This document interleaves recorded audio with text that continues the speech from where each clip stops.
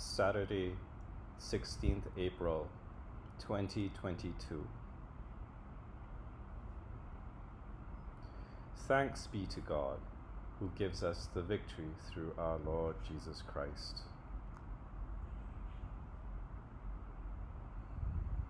Dearly beloved, the scriptures teach us to acknowledge our many sins and offenses, not concealing them from our Heavenly Father, but confessing them with humble and obedient hearts, that we may obtain forgiveness by His infinite goodness and mercy.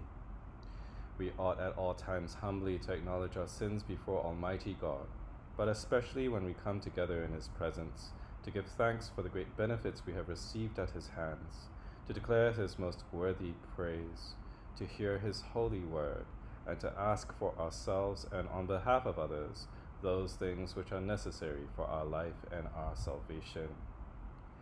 Therefore, draw near with me to the throne of heavenly grace.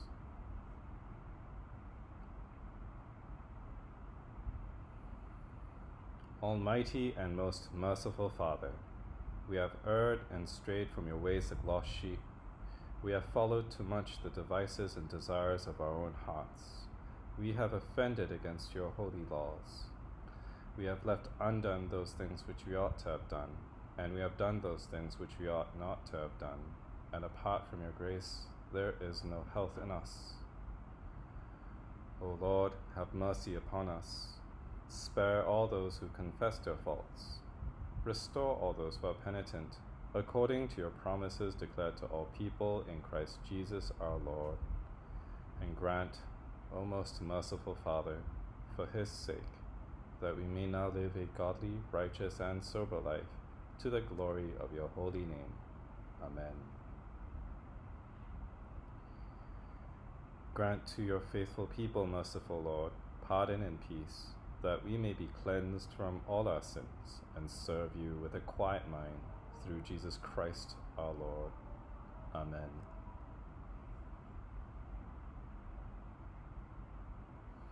O Lord, open our lips, and our mouth shall proclaim your praise.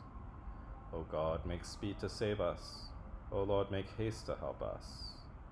Glory be to the Father, and to the Son, and to the Holy Spirit, as it was in the beginning, is now, and ever shall be, world without end. Amen. Praise the Lord. The Lord's name be praised. O gladsome light, pure brightness of the ever living Father in heaven, O Jesus Christ, holy and blessed. Now, as we come to the setting of the sun, and our eyes behold the vesper light, we sing your praises, O God, Father, Son, and Holy Spirit. You are worthy at all times to be praised by happy voices O Son of God, O Giver of life, and to be glorified through all the worlds.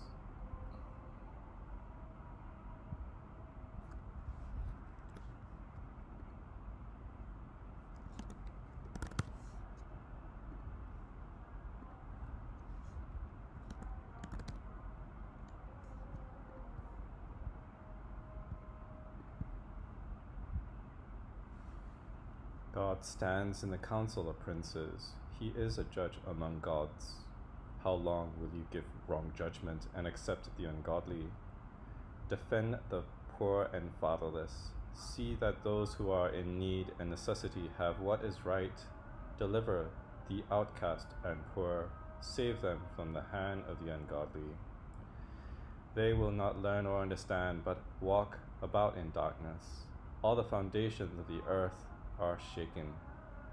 I have said, You are gods, and you are all the children of the Most High. But you shall die like mortals and fall like one of the princes. Arise, O God, and judge the earth, for you shall take all nations for your inheritance. Hold not your tongue, O God, keep not silent, but rouse yourself, O God. For behold, your enemies murmur, and those who hate you have lifted up their head. They have conspired secretly against your people and taken counsel against your cherished ones. They have said, Come, let us wipe them out, that they may be no more people, and that the name of Israel may be remembered no more.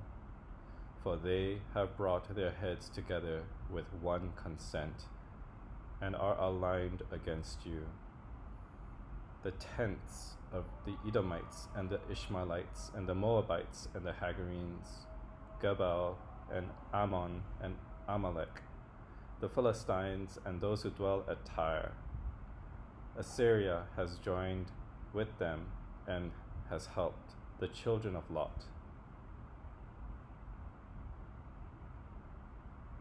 But do to them as you did to the Midianites, to Sisera and to Jabin at the brook of Kishon, who perished at Endor and became as dung on the earth.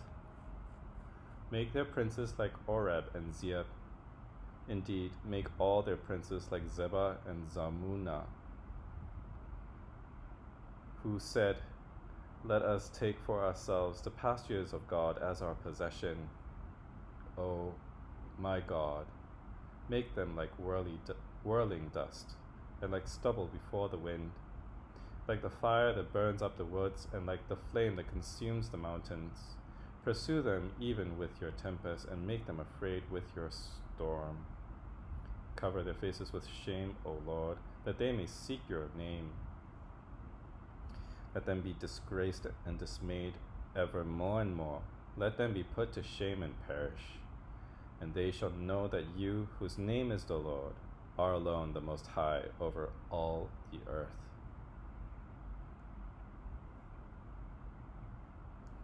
How lovely are your dwellings, O Lord God of hosts! My soul has a desire and longing to enter into the courts of the Lord. My heart and my flesh rejoice in the living God. Indeed, the sparrow has found her a house, and the swallow a nest where she may lay her young. Even your altars, O Lord of hosts, my King and my God. Blessed are they who dwell in your house, they will be always praising you. Blessed is the one whose strength is in you, in whose heart are your ways, who, going through the valley of misery, uses it for well. Indeed, the early rains fill the pools with water. They will go from strength to strength, and the God of gods shall be seen by them in Zion. O Lord God of hosts, hear my prayer. Hearken, O God of Jacob. Behold, O God, our defender, and look upon the face of your anointed for one day in your courts is better than a thousand. I would rather be a doorkeeper in the house of my God than dwell in the tents of ungodliness. For the Lord God is a light and defense. The Lord will give grace and honor, and no good thing shall he withhold from those who live a godly life. O Lord God of hosts, blessed is the one who puts his trust in you. Lord, you have been gracious to your land. You have turned away the captivity of Jacob. You have forgiven the offense of your people and covered all their sins. You have taken away all your displeasure and turned yourself from your wrathful indignation. Restore us then, O God, our Saviour, and let your anger cease from us. Will you be displeased at us forever? And will you stretch out your wrath from one generation to another? Will you not turn again and quicken us, that your people may rejoice in you? Show us your mercy, O Lord, and grant us your salvation. I will hearken to what the Lord will say, for he shall speak peace unto his people and to his saints, that they turn not again for his salvation is near to those who fear him, that glory may dwell in our land. Mercy and truth have met together, righteousness and peace has have kissed each other. Truth shall flourish out of the earth, and righteousness shall look down from heaven. Indeed, the Lord shall show goodness, and our land shall give its increase. Righteousness shall go before him and he shall direct his going in the way. Glory be to the Father, and to the Son, and to the Holy Spirit, as it was in the beginning, is now, and ever shall be, world without end. Amen.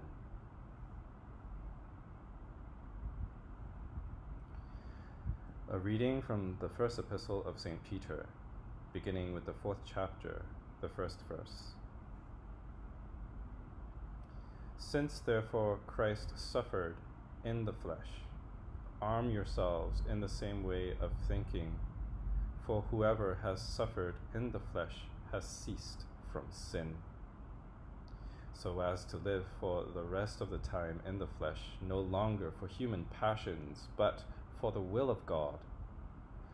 For the time that is past suffices for doing what the Gentiles Gentiles want to do, living in sensuality, passions, drunkenness, orgies, drinking parties, and lawless idolatry.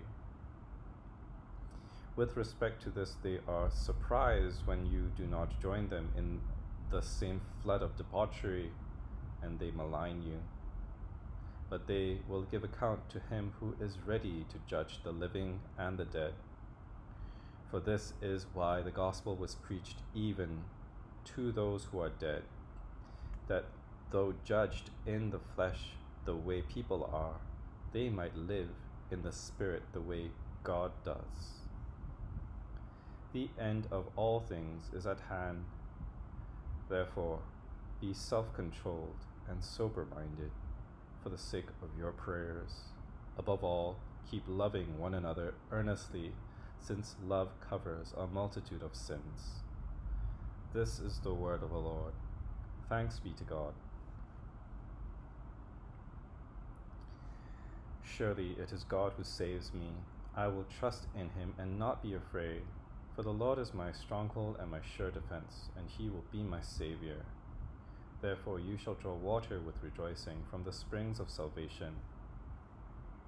And on that day you shall say, Give thanks to the Lord and call upon his name. Make his deeds known among the peoples. See that they remember that his name is exalted.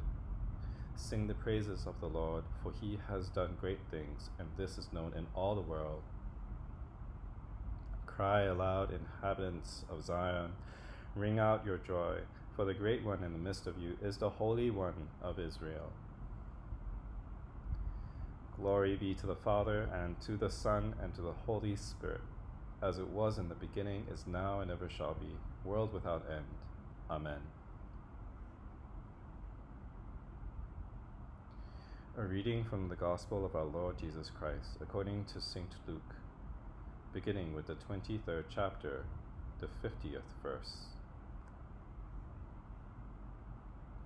Now there was a man named Joseph from the Jewish town of Arimathea. He was a member of the council, a good and righteous man who had not consented to their decision and action, and he was looking for the kingdom of God. This man went to Pilate and asked for the body of Jesus. Then he took it down and wrapped it in a linen shroud and laid him in a tomb cut in stone where no one had ever yet been laid. It was the day of preparation, and the Sabbath was beginning. The women who had come with him from Galilee followed and saw the tomb and how the body was laid. Then they returned and prepared spices and ointments.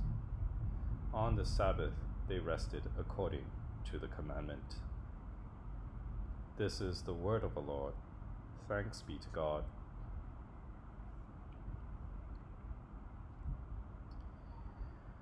My soul magnifies the Lord, and my spirit rejoices in God my Saviour, for he has regarded the lowliness of his handmaiden.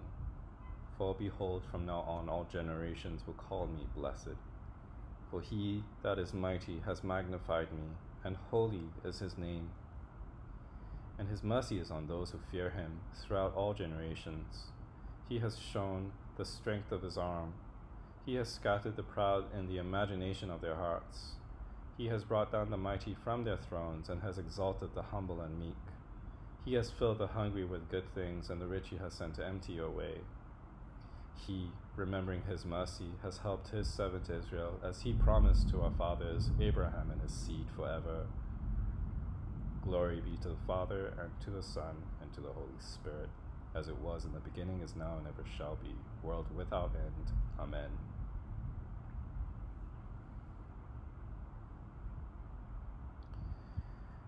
I believe in God, the Father Almighty, creator of heaven and earth. I believe in Jesus Christ, his only Son, our Lord. He was conceived by the Holy Spirit and born of the Virgin Mary. He suffered under Pontius Pilate, was crucified, died, and was buried. He descended to the dead. On the third day he rose again. He ascended into heaven and is seated at the right hand of the Father. He will come again to judge the living and the dead. I believe in the Holy Spirit, the Holy Catholic Church, the communion of saints, the forgiveness of sins, the resurrection of the body, and the life everlasting. Amen. The Lord be with you, and with your spirit. Let us pray. Lord, have mercy. Christ, have mercy. Lord, have mercy. Our Father in heaven, hallowed be your name. Your kingdom come, your will be done, on earth as it is in heaven. Give us today our daily bread and forgive us our sins as we forgive those who sin against us. Save us from the time of trial and deliver us from evil. For the kingdom, the power, and the glory are yours, now and forever. Amen. O Lord, show your mercy upon us and grant us your salvation. O Lord, guide those who govern us and lead us in the way of justice and truth. Clothe your ministers with righteousness, and let your people sing with joy. O Lord, save your people, and bless your inheritance. Give peace in our time, O Lord, and defend us by your mighty power. Let not the needy, O Lord, be forgotten, nor the hope of the poor be taken away. Create in us clean hearts, O God, and take not your Holy Spirit from us.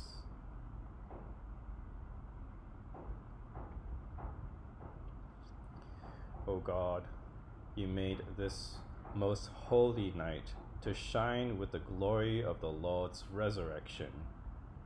Stir up in your church that spirit of adoption which is given to us in baptism, that we, being renewed both in body and mind, may worship you in sincerity and truth. Through Jesus Christ our Lord, who lives and reigns with you in the unity of the Holy Spirit, one God, now and forever. Amen. O God, the source of eternal light, shed forth your unending day upon us who watch for you, that our lips may praise you, our lives may bless you, and our worship on the morrow give you glory through Jesus Christ our Lord. Amen. Keep watch, dear Lord, with those who work or watch or weep this night, and give your angels charge over those who sleep. Tend the sick, Lord Christ. Give rest to the weary. Bless the dying. Soothe the suffering. Pity the afflicted. Shield the joyous. And all for your love's sake. Amen.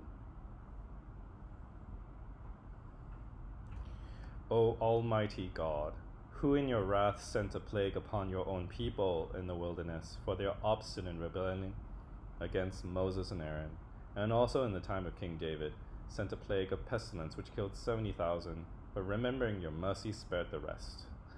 Have pity upon us, miserable sinners, who now are visited with great sickness and mortality, and in the same way that you then accepted an atonement and commanded the destroying angel to cease from punishing so it may now please you to withdraw from us this plague and grievous sickness through Jesus Christ our Lord. Amen.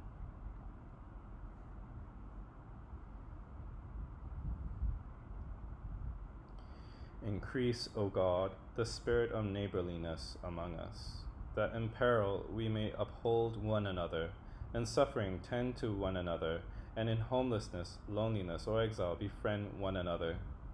Grant us brave and enduring hearts that we may strengthen one another until the disciplines and testing of these days are ended and you again give peace in our time. Through Jesus Christ our Lord. Amen.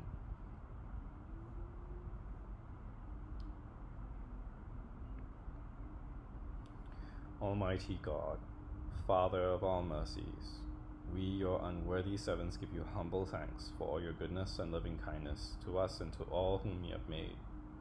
We bless you for our creation, preservation, and all the blessings of this life, but above all for your immeasurable love and the redemption of the world by our Lord Jesus Christ, for the means of grace and for the hope of glory.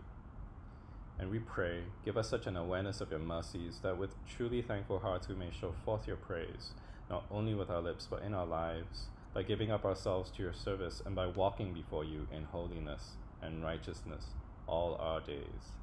Through Jesus Christ our Lord, to whom, with you and the Holy Spirit, be honor and glory throughout all ages. Amen.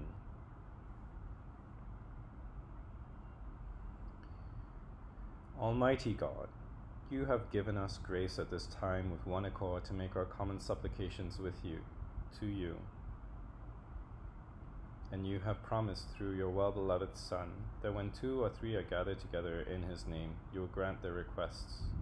Fulfill now, O O Lord, our desires and petitions as may be best for us, granting us in this world knowledge of your truth, and in the age to come, life everlasting. Amen. Let us bless the Lord. Alleluia, Alleluia. Thanks be to God. Alleluia, Alleluia. The grace of our Lord Jesus Christ and the love of God, and the fellowship of the Holy Spirit be with us all evermore. Amen.